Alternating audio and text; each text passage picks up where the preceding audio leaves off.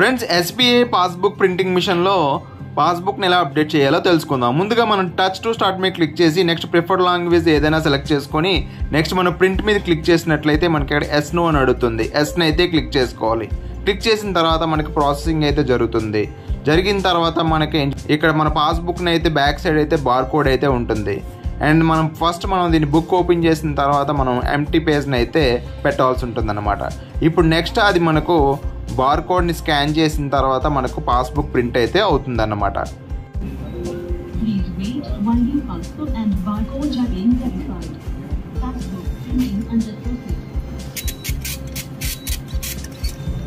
Thank you for using SBI